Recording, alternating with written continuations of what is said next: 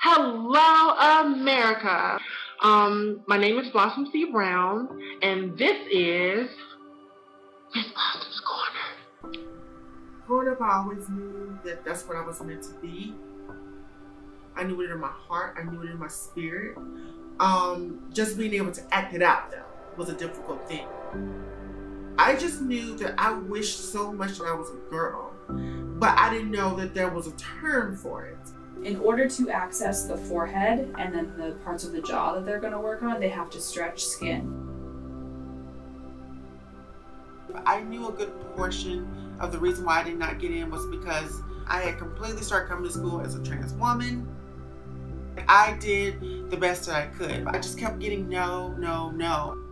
When a black man is murdered by police, how we as a collaborative of all black people, whether you're cis, you're trans, you have to come and shout Black Lives Matter. But when a black trans person is murdered in this country and there's nothing but radio silence from our black cis brothers and sisters, we need to be doing so much better. We got to learn how to bridge this gap of accepting no matter what. I want to be empowered to be in certain spaces that we're not allowed to be in as a trans person. I want to be empowered to do the best job that I can do.